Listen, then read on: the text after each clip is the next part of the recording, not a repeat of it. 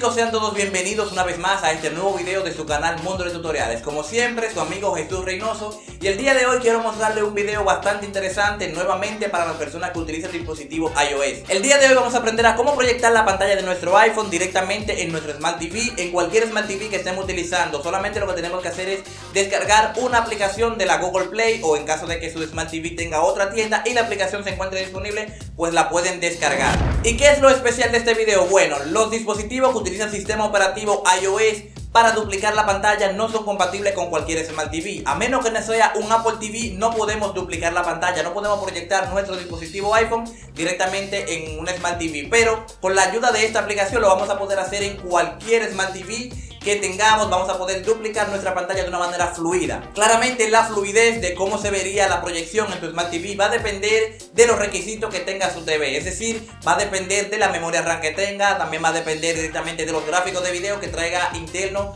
su Smart TV.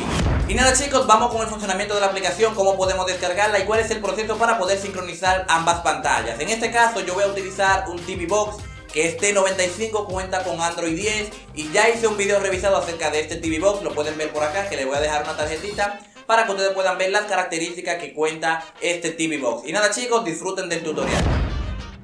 Y nada chicos, ya estamos acá en nuestra Smart TV, como les dije yo estoy utilizando un TV Box T95 la verdad estoy súper incómodo grabando este video en el sentido de que tengo que grabar la pantalla con la cámara porque tengo que mostrarle también el dispositivo a la hora de conectarlo, pero vamos a intentarlo.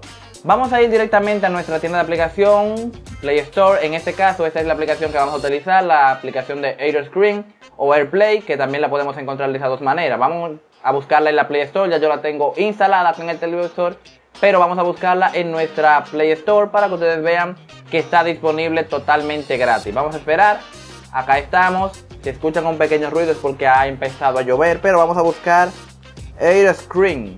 Aquí la tenemos y vamos a ver que está totalmente gratuita en nuestra tienda de aplicación Google Play. Por acá la tenemos, como ven ya yo la tengo instalada, abrir y desinstalar. Eso es todo lo que tenemos que hacer para poder descargar la aplicación. En caso de que su Smart TV no tenga Google Play, pero sí soporte aplicaciones APK, yo le voy a dejar el link en la descripción del video para que ustedes directamente la puedan descargar. Y vamos a hacerlo de manera rápida. Vamos a ir directamente a la aplicación que acabamos de instalar. Aquí está, Screen. Le damos en OK o vamos a entrar. Y aquí se estaría iniciando la aplicación. La aplicación tiene bastante ajustes, bastante configuraciones. Para el día de hoy lo único que les voy a mostrar es cómo podemos sincronizar nuestro dispositivo acá en nuestra Smart TV. Como les dije, este es un TV Box que tiene Android 10 y tiene 4 GB de memoria RAM. Es decir, que tiene que ir bastante fluido. Ya yo lo he probado y la verdad va bastante fluido. Entonces en este caso ustedes van a explorar esta aplicación para que le den los ajustes necesarios. Yo por mi parte simplemente le voy a dar en iniciar para que podamos empezar la sincronización de pantalla. Le damos en iniciar automáticamente, como ven por acá, dice que está esperando la conexión, no sé si lo logran ver, pero aquí dice que está esperando conexión. Vamos a pasar al dispositivo, vamos a ver si se puede enfocar, acá está, vamos a ver, vamos a enfocar. Aquí lo tenemos. Acá en nuestro dispositivo lo único que tenemos que hacer es dirigirnos a nuestro centro de control y vamos a buscar esta parte que dice duplicar pantalla. No sé si lo pueden lograr ver acá. Duplicar pantalla, le vamos a dar acá y vamos a esperar a que reconozca nuestro TV Box o nuestro Smart TV en este caso.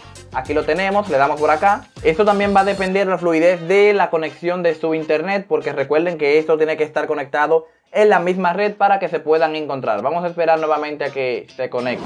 Por acá ya lo tenemos, ya se está duplicando la pantalla como pueden ver todo lo que hacemos en el dispositivo pues obviamente pasa en el televisor. Aquí lo ven un poco desenfocado. También si queremos ver por ejemplo una película y queremos proyectarla directamente en nuestra Smart TV, vamos a entrar acá a la aplicación TV de Apple y vamos a reproducir un contenido. Vamos a ver que también se puede reproducir, dice que se está reproduciendo en AirPlay como se ve por allá en nuestro Smart TV.